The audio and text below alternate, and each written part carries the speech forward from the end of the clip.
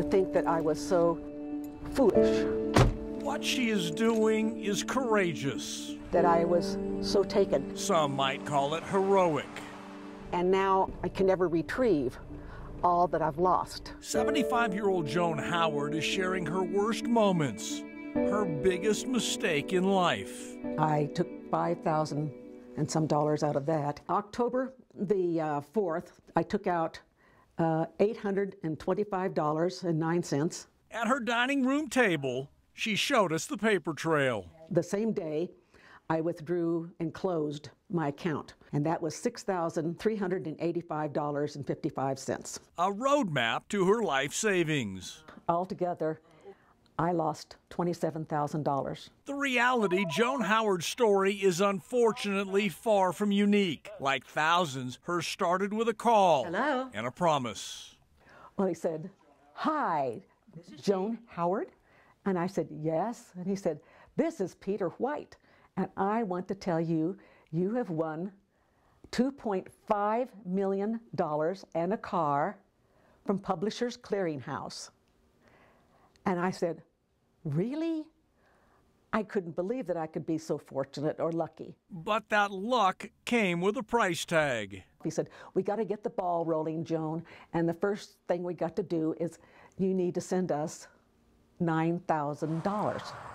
I went right over to the bank and withdrew $9,000. It's criminal, it's a scam, and it causes us great concern both for the consumers and for our brand. Christopher Irving is a vice president at Publishers Clearinghouse. And guess what? You've just won our Forever Prize.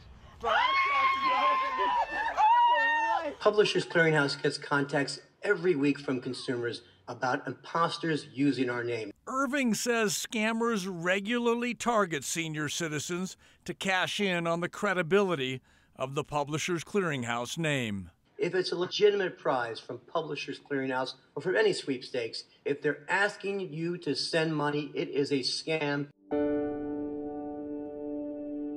I just wanted to retreat and say, I can't believe that I did this. Couldn't believe because Joan's resume includes 16 years working in the White House, a career as a smart, successful, and driven professional. People were trying to warn you. Mm-hmm.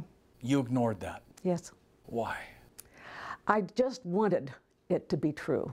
I just wanted to finally be solvent and have money to do things with. There was a lot of people in this branch that said something doesn't feel right here. Joan Howard withdrew some of the $27,000 from this Wells Fargo branch in Lakewood. Bank employees know her well, and they tried to help. It's very frustrating when you've known these customers oftentimes for decades. So we're the ones that sometimes will feel like something is just off, but we cannot stop it. It's an ongoing problem for law enforcement. Um, there are way too many victims. Colorado's U.S. Attorney Jason Dunn confirms elder fraud is a priority and a challenge. How difficult is this to track down and put a bad guy in handcuffs? Yeah, it's tough, it's particularly when it involves an international fraud. Um, a lot of these, unfortunately, are based in Africa or India or in China.